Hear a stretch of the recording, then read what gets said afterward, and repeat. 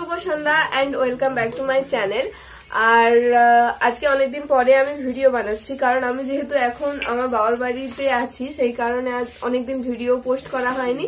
তো আজকে সন্ধ্যাবেলা যেহেতু ফার্স্ট টাইম আমি আমার বাবার বাড়িতে কাকিমার রান্নাঘরে রান্না করছি, সেই কারণে ভাবলাম যে আজকে তাহলে একটা ভিডিও বানিয়ে ফেলি। আর কি জন্য আজকে আমি রান্না করতে বসেছি সেটা একটু পরে বলছি। প্রচণ্ড পরিমাণে এখন গরম পড়েছে, ঠিক আছে? চলো, পটাপট করে আমি রান্নাটা সেরে নিই, তারপরে তোমাদের সঙ্গে আবার কথা বলছি যে কি কারণে আমি আজকে রান্না করতে ঢুকেছি রান্নাঘর।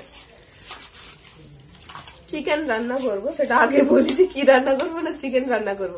তো মোটামুটি এদিকে ম্যারিনেশন কমপ্লিট চিকেনের আমি যেভাবে করি, আমি অনেকবার আমার চিকেন রেসিপি শেয়ার করেছি, তো আমি আগে রান্নাটা করে নিই, তারপরে আবার তোমাদের সঙ্গে কথা বলছি।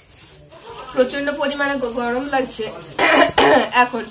আর আজকে চিকেন আমি রান্না করার কারণ আমি তোমাদেরকে বললাম যে, আমি পরেই বলছি তোমাদেরকে আমি কেন আজকে আমার বাবার বাড়িতে ফার্স্ট টাইম আমি রান্না করছি। যে, আর ভয়ও লাগছে প্রচণ্ড পরিমাণে কেমন হবে। মা কাকিমা খুব সুন্দর রান্না করে। তো জানি না আমার চিকেনটা কেমন হবে। সে ভয়টাও আছে, যেহেতু আজকে আমি ফার্স্ট টাইম রান্না করছি আমার বাড়িতে। আর আজকে যে কারণে চিকেন রান্না হচ্ছে, আজকে কাকিমাদের বাড়িতে যেহেতু আমার কাকিমার অ্যানিভার্সারি আসতে চলেছে, সেই কারণে কাকু কাকিমাকে আজকে একটা স্কুটি গিফট করেছে মানে স্কুটি আনা হয়েছে। তো স্কুটিটা আমি তোমাদেরকে দেখাবো একটু পরে। তো সেই কারণেও চিকেন আজকে হচ্ছে যে স্কুটি আনা হয়েছে সেই আনন্দে। আর আর আমাদের কাল থেকে আমাদের এইখানে দেশ পুজো শুরু হয়ে যাবে। তো দেশ পুজোতে আমাদের এখানে ঘট কালকেও যেহেতু তোলা হবে, কালকে যেহেতু পুজো শুরু, তো কাল থেকে আমাদের পুরো নিরামিষই খেতে হবে। নিরামিষই বলতে মাছ খাওয়া হবে, ডিম আর মাংসটা খাওয়া হবে না। প্রায় চার দিন চার দিন না ভাই? চার দিন মতো তো খাওয়া হবে না, সেই কারণে আজকে রাত্রিবেলা চিকেন হয়ে যাচ্ছে, ঠিক আছে? তো চলো, আমি জানি না আমার চিকেনটা কেমন হবে, সেটার রিভিউ আমি বাড়ির সবার কাছ থেকে নিয়ে তোমাদেরকে জানাব কেমন হয়েছে।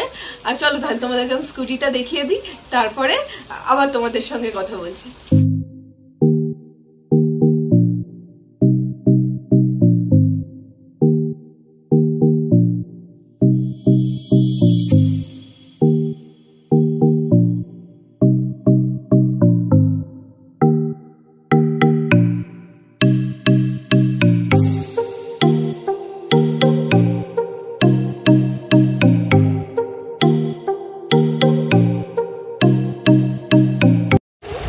তো চলো, মোটামুটি আমাদের খেতে বস, আমার মাংস রান্না হয়ে গেছে। ওইদিকে ওই যে কাকিমা ভাত দিচ্ছে, কড়াই আর হাঁড়ি সব নিয়ে আসা হয়ে গেছে একবারে। আর চলো, আমি এই যে আজকে আমাদের কলা পাতাতে খাওয়া হবে, রাত্রিবেলা। চিকেনটা দেখো, চিকেনটা, কালার